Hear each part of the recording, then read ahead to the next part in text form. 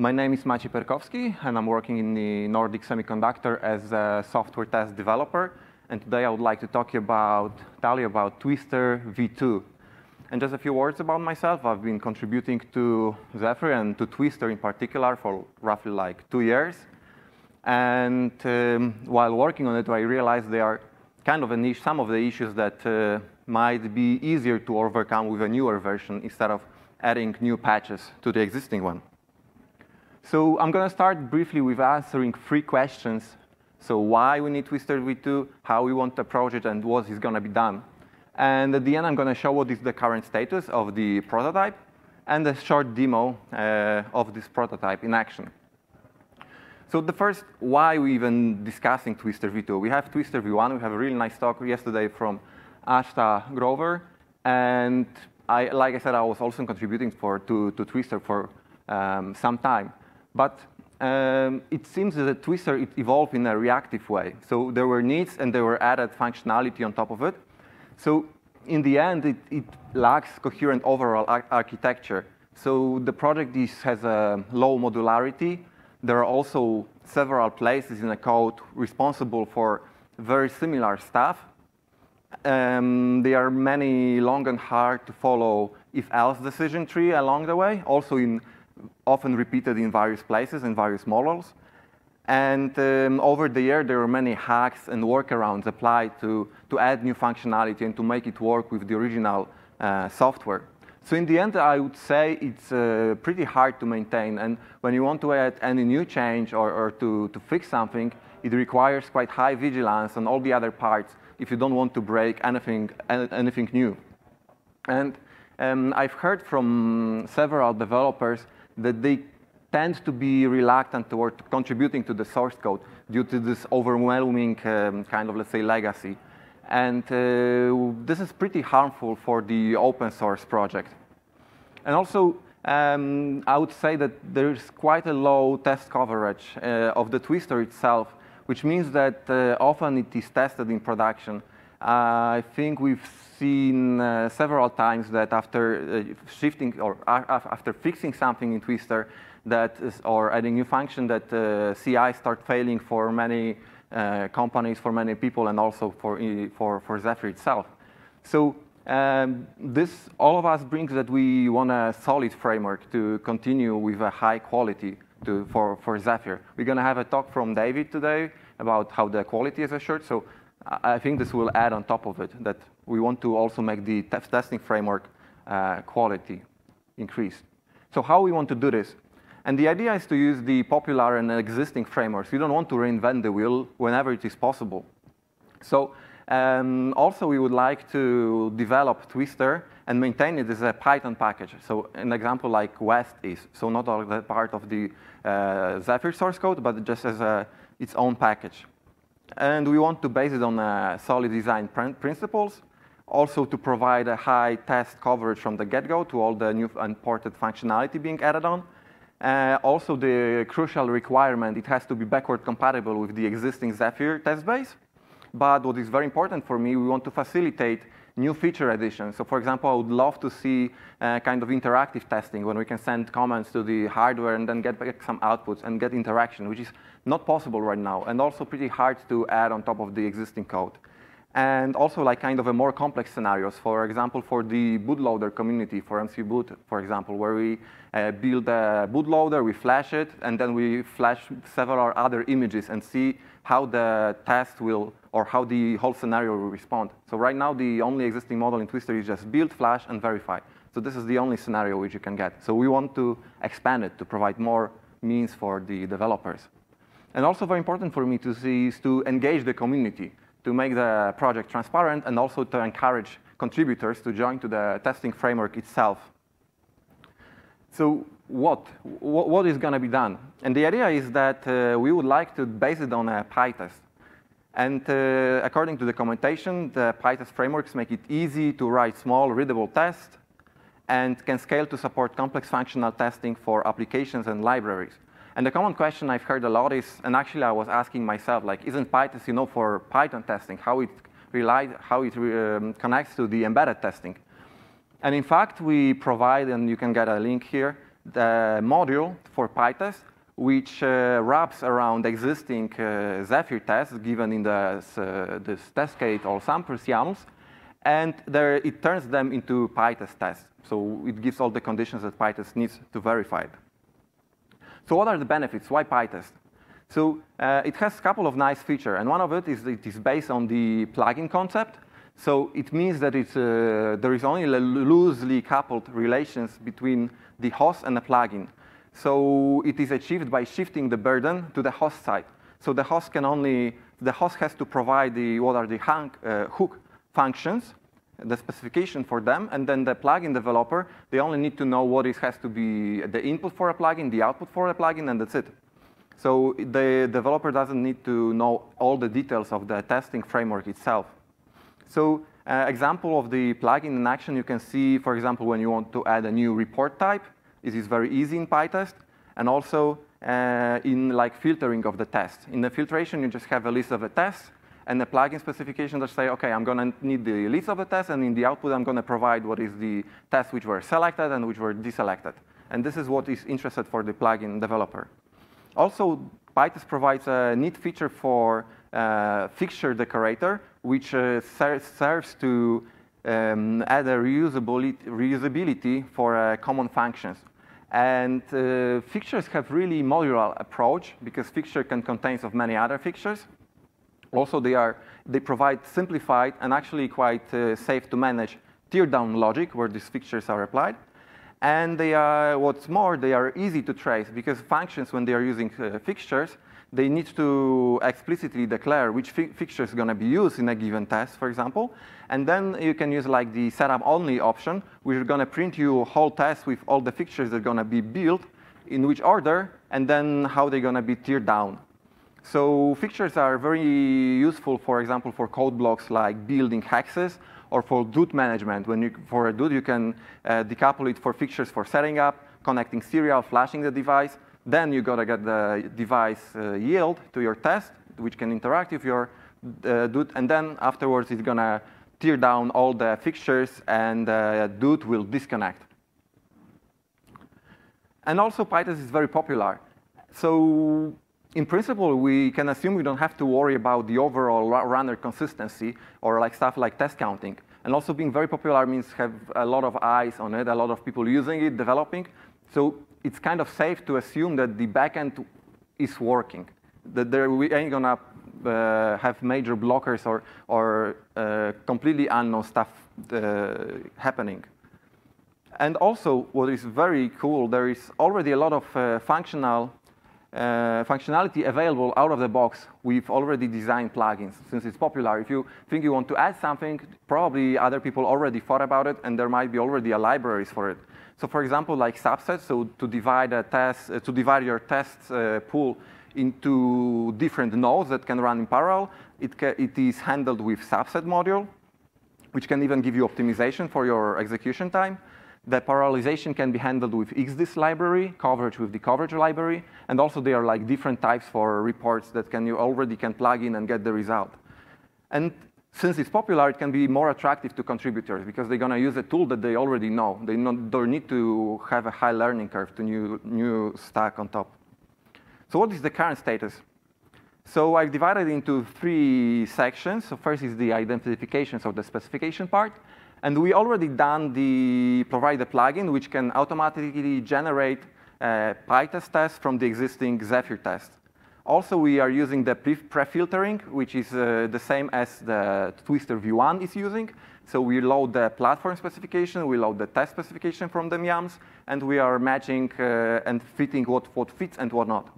And also we, provide, we implemented uh, examples of how to use filtering plugins to show how it works for applying uh, filtering based on tags or on a slow label. And for to do, I'm going to just show an example because, of course, there's quite a lot to be done still. But example is to um, align, fully align the filtration, how it works, because like I said, we only added a couple of filters. And also, for example, the test uh, cases identification, so the tests which are defined as C code. For the execution part, uh, we are using West interface to build and flash images. we ported the harness z-test, so to use the z-test uh, frames to validate test output. Also, we provided the abstraction layer for the device under test. And we implemented uh, native POSIX and hardware classes, which means you can already run it, Twister v2, on a native POSIX test and on hardware.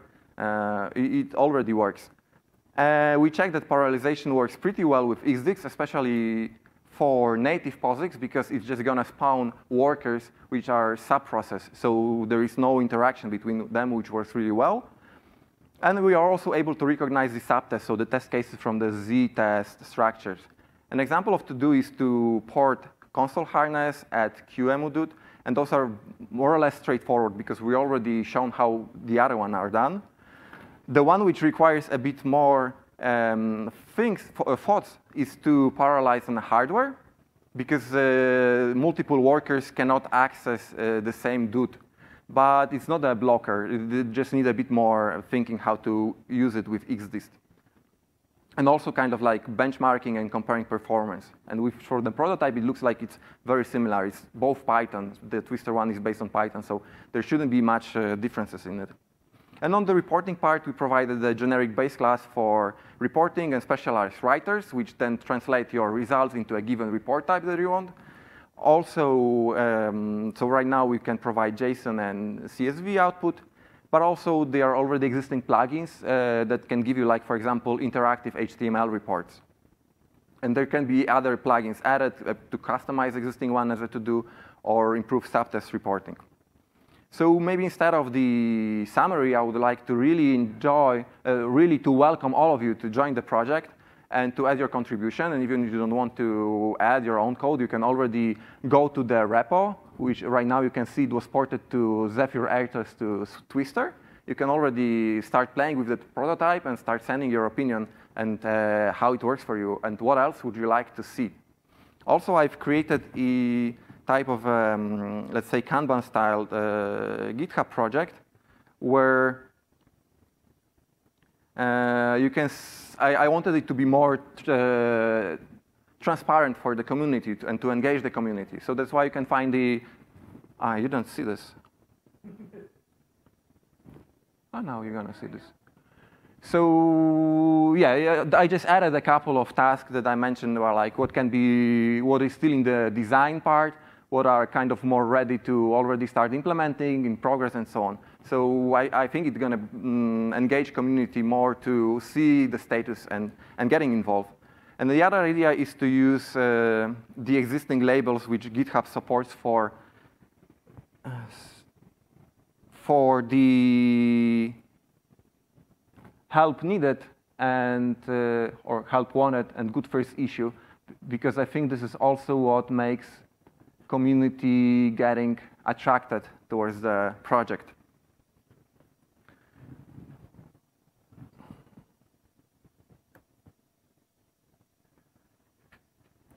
So if I, I, haven't been monitoring my time, but just like if you want, there, there's just a very brief uh, demo. Like I said, it's just calling PyTest for Python, pointing to the already existing uh, Twister uh, Zephyr test.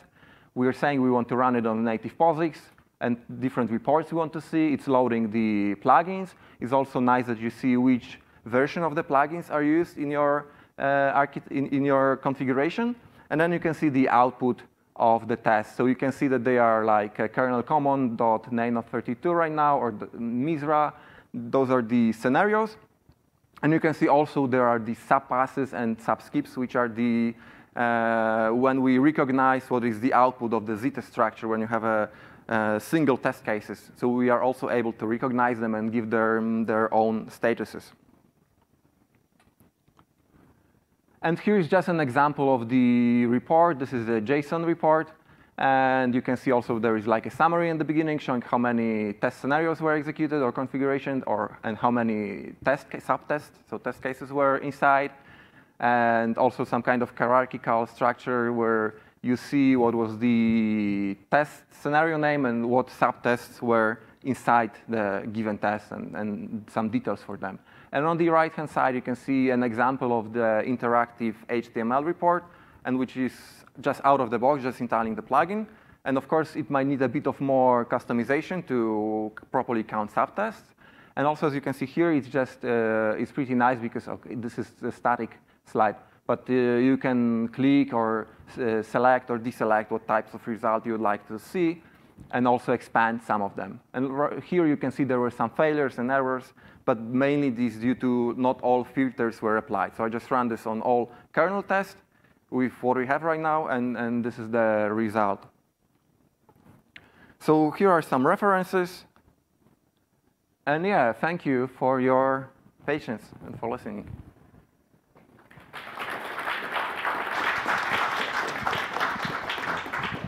I have my first question, which I always ask on, on, on twisters. Uh, are we going to be able to run this in multiple OSs, like something other than just Linux?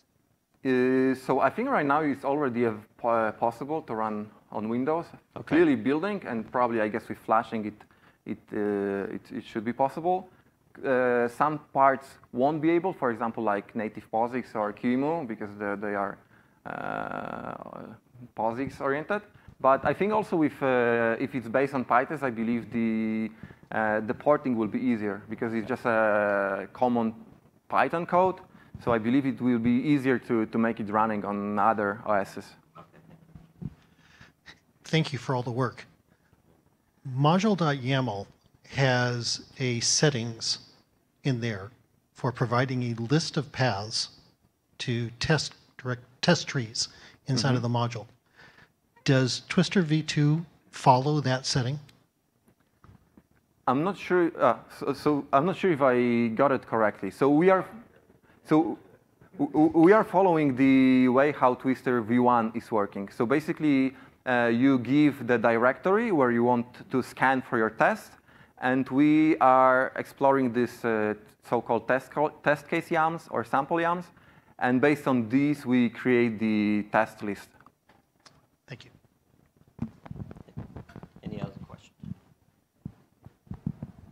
So uh, thank you first, uh, and yeah, nice to see PyTest uh, coming to Zephyr really. Uh, I have one question. Do you think that uh, it would be possible as well to have like tests written in Python? So from a, like running a Zephyr firmware that actually writes, uh, communicates with the firmware, and the whole test is written in, in Python? Yeah, I, I really hope so. The, there is already a plugin, or no, not the plugin, the, the, the, harness for PyTest in, in Twister v1, but basically it's just calling the PyTest, and, uh, which, which does everything, and then just collecting the results from the report. So I think right now we'll be able to kind of integrate it more, to have a better kind of support for PyTest. And I would, like I said, I would really love to see kind of a more advanced scenarios, not just uh, build flash and see the result, but something where you can interact or do multiple flashes. And I believe with uh, PyTest, it will be easier. So, so we have some plans how to expand on it. Thank you. How are you testing this version of Twister? I know the previous one didn't really have any tests for itself, but it that always felt like a you know, it just grew naturally, and then it became very complicated, and then there were all these edge cases and stuff that I know we've run into. So I don't know if you're starting to yet, or, or have tests for what's being developed. So yeah, so the idea is that every time we add new feature, I'm, I'm having a problem finding my mouse here. Sorry. It's on this screen. Yeah, and it's on the other side. So yeah, so basically, if you okay, I'm gonna not do, do it here. If you go to the repo, I, I um, was showing so so just Zephyr slash Twister uh, you will find the test folder. So basically, we already came with providing the PyTest test for the framework itself. And you can also you really easily implement this coverage uh, plugin, which can give you how much percentage is covered for, for the test case. So I think when I'll be kind of uh, driving and looking onto it, I will be really enforcing developers to add tests as well. So every time new functionality is added, it has to be added with proper tests for it. Uh, yeah, I, I need to test functional software. So, for example, I have a light sensor, and I have a, a, a lamp that I can control via Bluetooth to, you know, turn on or off. Can, how easy can I put that in my test plan and for your harness to control that device beside the device under test? So unluckily, right now, it's not easy or almost not possible, I would say. So, but we are really looking forward to add uh, new functionality. So clearly, you would need to have a certain way of validating your results. So yes, you will need a proper harness how, how to interact with your test. So this particular scenario, we don't have, uh, we didn't thought about it yet. But really, I think like due to the features of PyTest, like this uh, being based on plugins, and also like a fixtures where you can easily build your um, your your test from uh, existing code blocks, I believe it would be easier to to add something just using Python and not uh, custom scripting.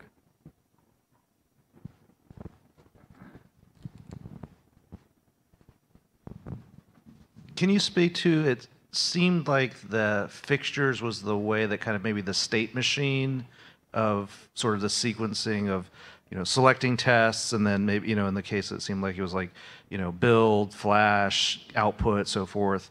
Um, can you talk maybe i don't know about sort of a how much flexibility that there is with that as far as different state machines and how you kind of define that? Is that just in code or how? And then is for example if i wanted just to go up to like you know so we had the like um, uh, test only you know options or like so how how does that kind of work just from that flow a little bit? So yeah, there, I, I think there are multiple questions inside that one, and probably the simple answer is, is still to explore all of them. But uh, giving you the context, so for example, uh, I mentioned like for the setup only. So you asked for for test uh, only, but uh, for for example for setup only, uh, I had it, but I, I deleted the slide to, for the time concerns. But uh, you, for fixtures, for example, you can have a really nice printout when you see which particular fixture is going to apply, then your test, and then how they are tearing down. And also for the implementation, how we said why the different, we, for example, we want to use more of kind of design patterns. So for example, uh, in our code, we have the uh, just the abstract base class for uh, DUT. And there is also a factory which uh, brings the adapters to life. And like I said, we, adapt, we provided the native POSIX port and the real hardware. So basically, they all have, uh, for example, like Flash functionality due to the abstract requirement. But native POSIX uh, will just uh, spawn a subprocess, and uh, the hardware will actually flash a software. So I, I think this also adds to your question. Okay. Okay, well, we're, we're going to have to do a time check here because we've got two more presentations to go, but uh, thank you very much for this. Thank you.